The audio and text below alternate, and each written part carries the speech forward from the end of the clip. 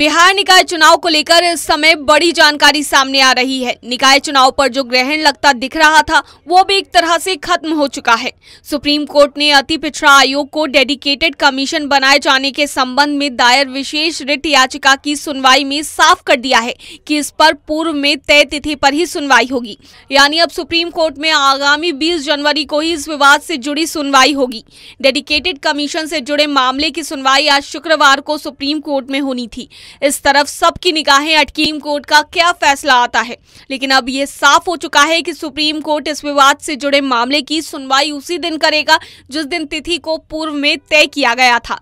बता दें कि याचिकाकर्ता सुनील राय ने विशेष सुनवाई की यह अर्जी सुप्रीम कोर्ट में लगाई थी, जिसमें कहा गया था कि नगर निकाय चुनाव 18 और 28 दिसंबर को होना है। इसीलिए इस मामले की सुनवाई इन तिथियों से पहले की जाए, ये सूचना याचिकाकर्ता सुनील राय ने दी।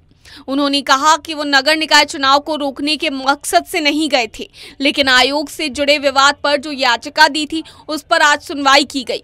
मीडिया चैनल पर बात करते हुए याचिकाकर्ता सुनील राय ने कहा है कि सुप्रीम कोर्ट ने आज यह कहा है कि इस मामले से जुड़ी सुनवाई 20 जनवरी को ही की जाएगी।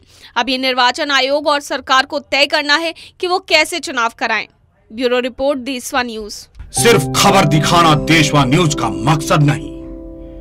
देशवा न्यूज़ की कोशिश है कि समाज की सूरत बदलनी चाहिए। देशवा न्यूज़ पर वीडियो देखने के लिए लाइक करें, सब्सक्राइब करें। साथ ही बेल आइकन दबाना न भूलें।